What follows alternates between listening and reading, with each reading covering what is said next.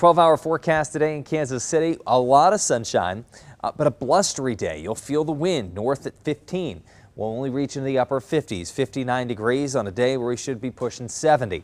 Highs this afternoon, mid 50s, Maryville over to Trenton, 60 in Clinton, Butler, 61 degrees in La Cygne, north to northwest winds averaging 15 miles per hour, so a blustery day.